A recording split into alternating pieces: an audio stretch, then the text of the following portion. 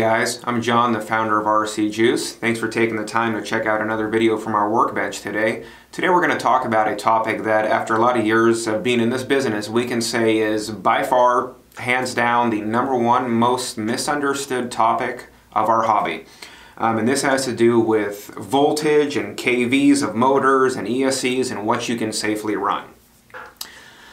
Um, so in general, I'm sure most of you guys are aware whenever you look at a motor or, or an ESC on a website, you've got the spec chart for it.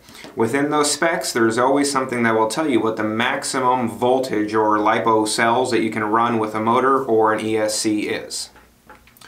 So with ESCs, it's more simple. On an ESC, there is a hard voltage limitation. If an ESC says you can only run up to 6 cell on it, then you can only run 6 cell. That has to do not only with the um, physical limitations of the components inside of the ESC, but most importantly, the actual firmware that's installed in the ESC. The ESC has to be able to recognize however many volts you are plugging into that speed control so it knows, for instance, when to cut off power for your low voltage cutoff on your, on your LiPo batteries. So on an ESC, yes, it's, it's a hard limitation. If it says 4 cell, you can only run 4 cell. Depending on the ESC, it's very possible to, if you run more voltage than the, that ESC can handle, it can actually pop immediately. You can turn it on, the ESC will be toast. Again, that's not with all ESCs, but the important thing to remember is ESC voltage limitations are hard and fast. You cannot exceed that limitation. It's still possible to overheat and damage an ESC even when you're running within that voltage. We'll talk more about that later, but again, ESCs follow that voltage recommendation. Now when it comes to motors, motors is where there's a bit more of a gray area. And again, on most motors, you will still always see a voltage limitation somewhere in that spec chart or, or spec list for that motor. Um, the first thing to understand is that on motors, a voltage limitation is not a hard limitation like it is on an ESC. The best way to put it is the voltage limitation shown for a motor as basically a general guideline that says you can run probably this many volts and this motor is going to survive. There's basically two things that will destroy a motor. The first is RPM and the second is heat. As far as RPM, that's a lot easier to calculate and know if you're in a safe range. On a motor, if you simply take the kV of the motor, for instance, this is a 4300 kV Hobbystar Pro 4 motor, and you multiply that by the voltage that you're running. So this in general is a two-cell motor, so a 4300 kV motor running 7.4 volts is going to spin 31,820 RPM. This motor is rated at 50,000 RPM, so RPM wise, running two cell on this motor, we'd still be fine. Uh, we should also keep in mind that a fully charged LiPo pack will have a little bit more voltage, so at first you will get some more RPM out of it, so keep that in mind.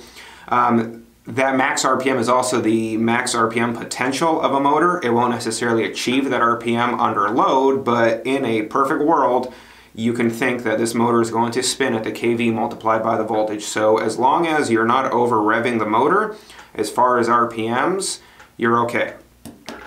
So the big, big, big topic here is heat. And again, this is the most misunderstood thing pretty much in our entire hobby is how voltage limitations and heat relate to motors.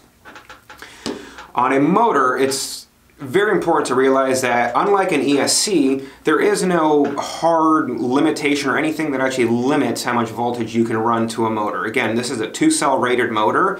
If I wanted to hook this motor up to this big old fifth scale ESC, I want to run 12 cell to it. This motor is going to run fine for a little bit. Um, of course, if you revved it to the full RPM, there's a very good chance you're going to explode that motor inside here. This motor on 6 cell would be running 95,460 RPM, so obviously the RPMs would be an issue. We're talking 12 cell on a 2 cell motor here just to illustrate the example that the motor would work fine on it.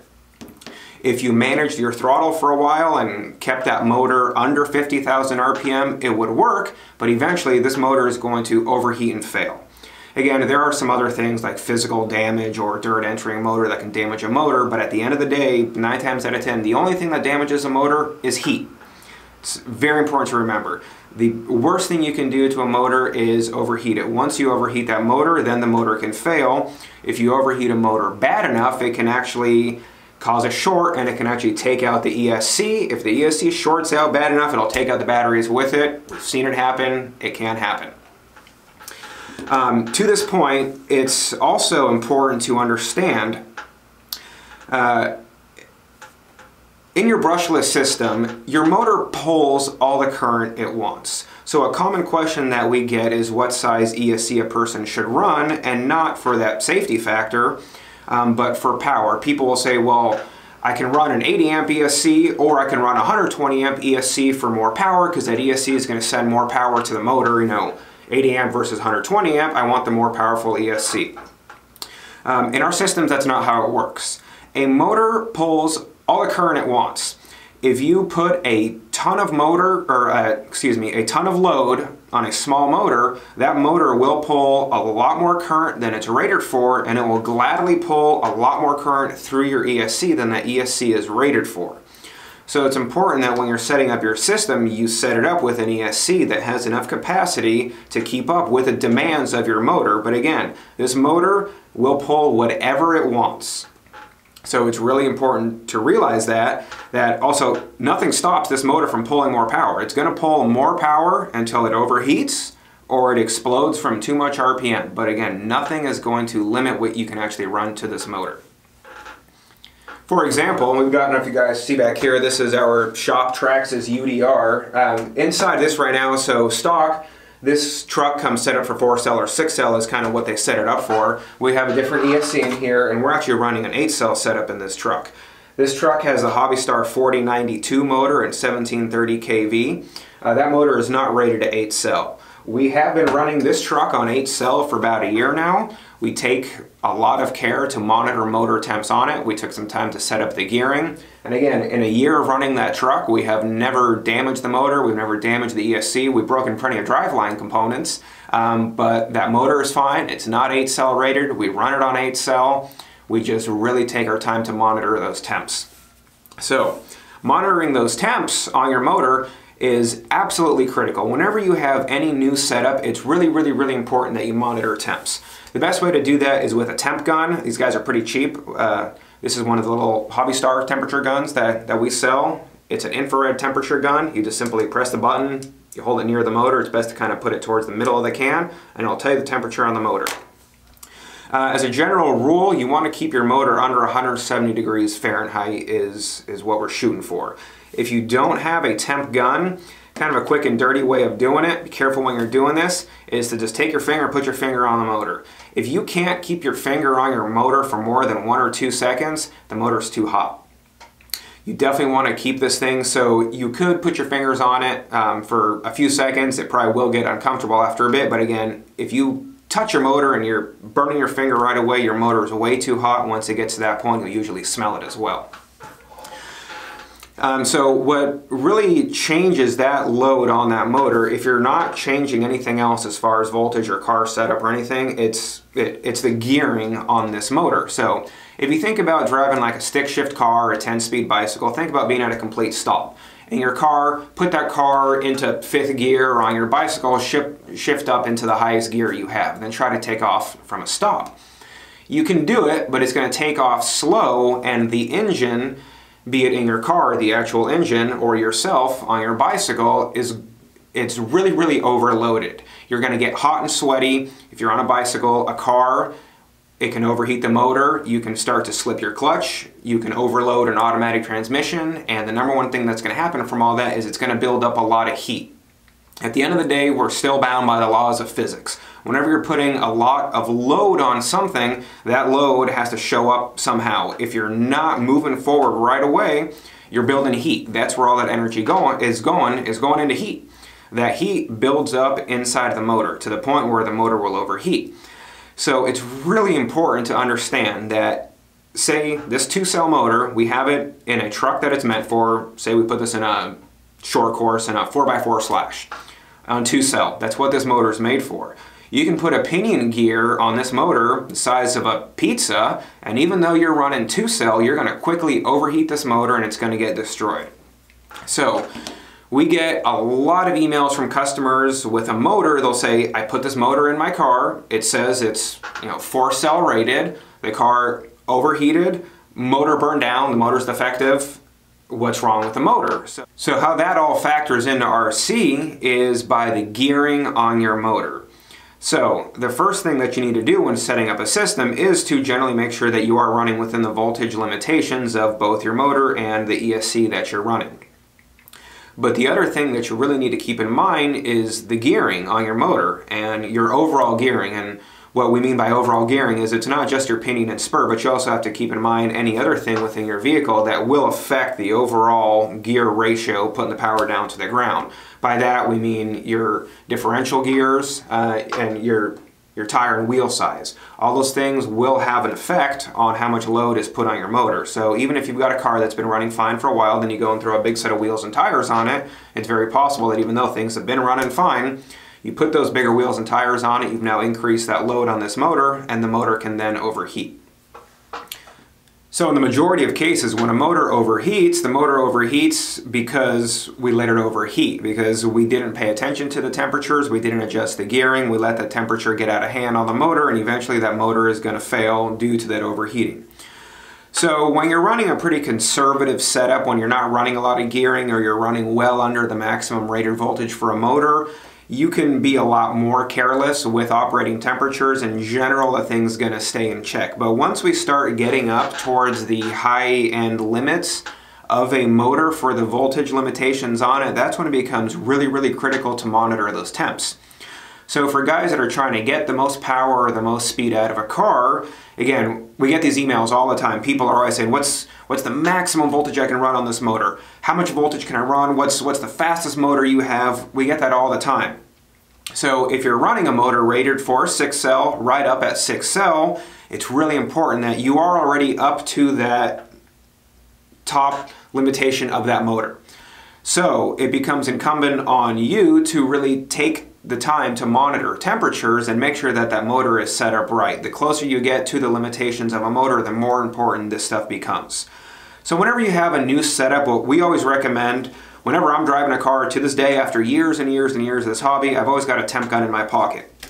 So when you're starting out, set your car up, put it on the ground. It's best to do it with the body off at first so we can have access to the motor very easily. Start driving the car around, drive around for a minute or two, check the temps on the motor. If things are feeling good, then drive it for another couple minutes, start driving it a little bit harder, and kind of slowly work your way up to a normal driving pace on that car, making sure that you monitor those temperatures.